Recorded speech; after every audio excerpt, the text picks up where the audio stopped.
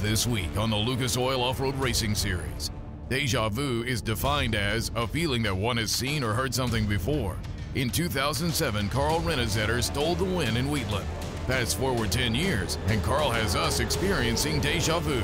Carl Renezeder was just doing what he's supposed to do, going to try to win a race. Carl saw the opening. That's what you do in this business. Can Carl mimic history? It all happens here at the Lucas Oil Off Road Racing Series. This Saturday on CBS.